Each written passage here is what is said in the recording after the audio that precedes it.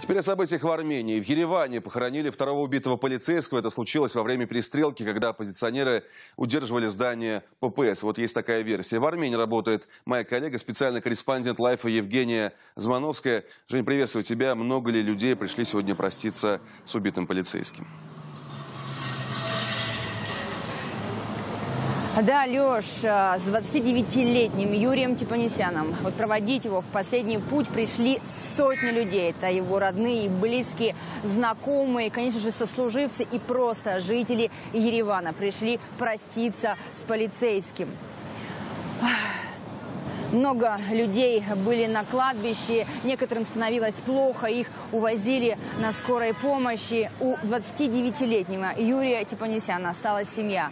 Трое детей, две дочери, 9 и 6 лет. Полгода назад у него родился сын. Вот после того, как гроб опустили в могилу и родные бросили по несколько горстей земли, его сослуживцы руками засыпали могилу.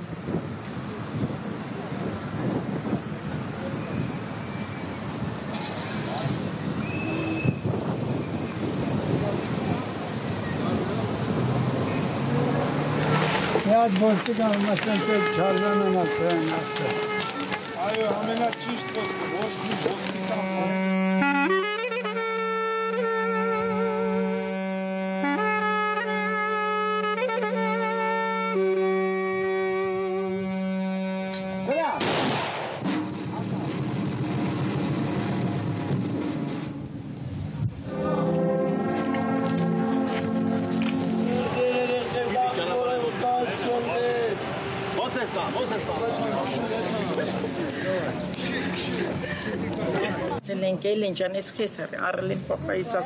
За два дня до этой трагедии дочь купила талисман. Я спросила, зачем?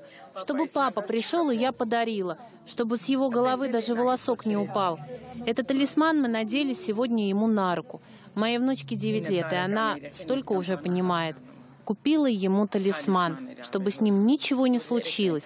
Кто бы мог подумать, что такое произойдет? Мы думали, что он ранен. Пришли в больницу, но он уже был мертв.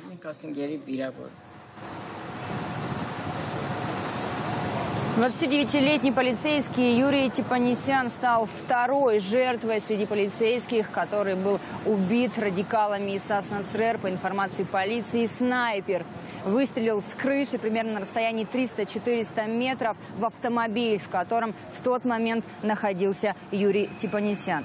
Вот его автомобиль стоял примерно на соседней улице за этим отцеплением. Как вы видите, сейчас уже здесь нет тех КАМАЗов и грузовиков, которые здесь стояли две недели и ограждали вот эти отцепленные два квартала. По-прежнему здесь стоят сотрудники полиции и пускают на территорию только тех людей, жителей по прописке. Сейчас а, уже в освобожденном полицейском участке полка ППС работают следователи. Я напомню, что вчера поздно вечером вечером радикалы из Саснацрер сложили оружие и сдались полицейским из здания полка ППС. Вышли 20 человек, двое из них были ранены, все они сейчас арестованы. Леш. Да, спасибо огромное. Женя Евгения Змановская из Еревана, где сегодня простились с убитым полицейским, который погиб во время осады здания ППС в столице Армении. Предположительно, снайпер вооруженной оппозиции снял этого человека. У него остались маленькие дети.